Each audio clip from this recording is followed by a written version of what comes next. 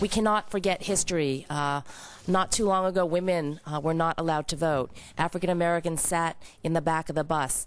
Uh, Asians were not allowed to own property or to intermarry. And these are the lessons and the historical points that we cannot forget. And so, like Assembly uh, Senator Leno said, uh, who will be next if we are not going to stand and fight for what is right and equal and just in this society then we are not doing our job as americans. So i'm proud to stand here with my colleagues and we will continue this fight for equality